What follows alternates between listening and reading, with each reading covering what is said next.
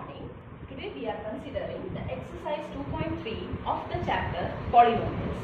Question number 2 is check whether the first polynomial is a factor of the second polynomial by dividing second polynomial by the first polynomial.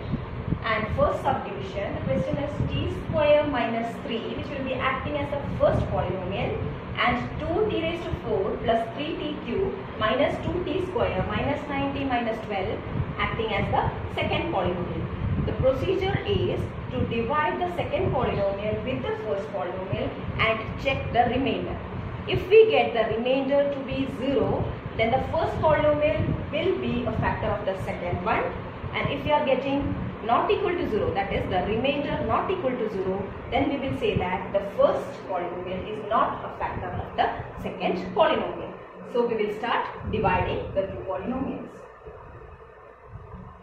T raised 2 raised to 4 plus 3 cube minus 2t square minus 9t minus 12 is written inside and this is again t square minus 3 which will be standardized and written as t square plus 0t minus 3. Now, by dividing the first term of the dividend with the divisor, that is 2t raised to 4 divided by t square, will give you 2t square. That will be written as the quotient. So, you get 2t raised to 4 after multiplying this quotient with this divisor, the answer which you are getting should be written here. So, it is 2t raised to 4 plus 0 to t cube minus 6t square. Now we are subtracting the two that means this will get the negative sign negative and this will become positive. So here this is 0 here you will get 3t cube this will become minus 2t square plus 6t square which is plus 4t square. Again you have to take down the next term which is minus 9t. Now Again the same procedure follows which is 3t cube divided by t square will give you plus 3t.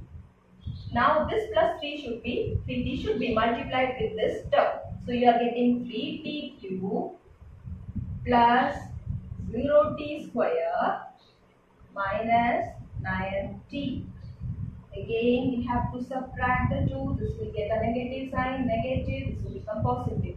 So this will become 0. Here you will get 4t square minus 90 plus 90 will give you 0, 0t and this next term, last term should again be taken down. Now again we need to check what is that 4t square divided by t square which will give you 4.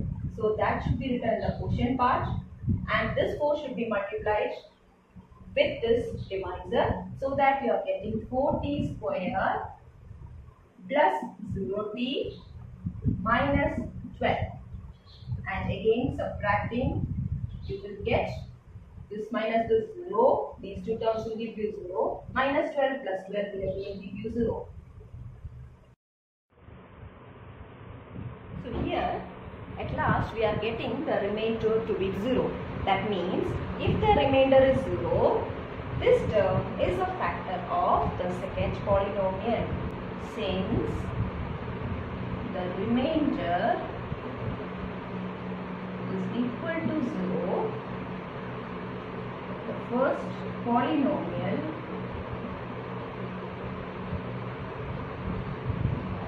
is a factor of the second polynomial.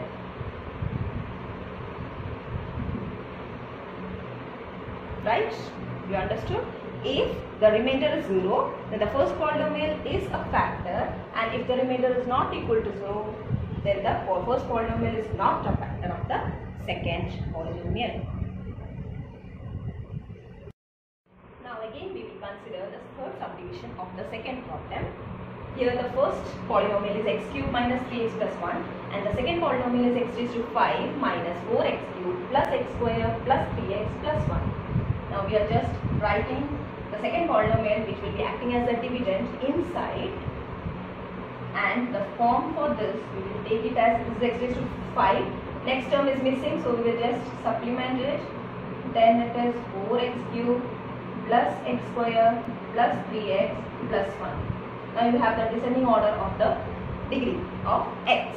Here again the divisor which is x cube minus 3x plus 1. Here we can just write this as x cube plus 0x square minus 3x plus 1. Now again we will check for the first term of the dividend with the first term of the divisor that means x raised to 5 divided by x raised to 3 will give you x raised to 2 and that will be written here.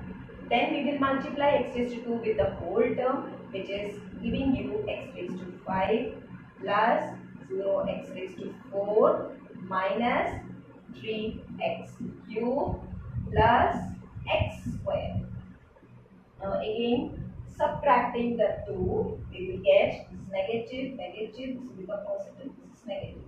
So here this will go, here you also don't have the term because both are zeros. Then here it will become minus 4 plus 3 which is minus x cube. And this term again will go, so we will write as 0x square plus 3x we have taken down and plus 1 will also be taken down because here you have 4 terms, we need here 4 terms. Okay, now we have to check for again the first term minus x cube and the first term of the divisor x cube.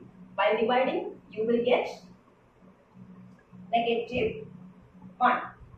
So this will give you minus again multiplying will give you minus x cube minus 0x square or you can write plus 0x square because it is 0 it doesn't matter. And the other thing is plus 3x minus 1 we are getting minus 1 as the last one. Now if we subtract, this will become positive, this will become positive, this is negative, this is positive. That means this term will go, this will go, this will also go, but here you get 1 plus 1 which is 2. That means we can say that the remainder is not 0. Since the remainder is not 0, the first term is not a factor of the second polynomial. Since the remainder is not equal to 0, the first polynomial is not a factor of the second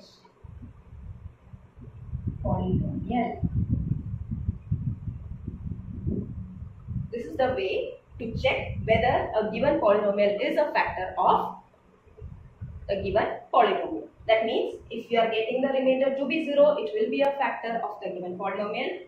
If the remainder is not equal to 0, then the first polynomial will not be a factor of the second polynomial.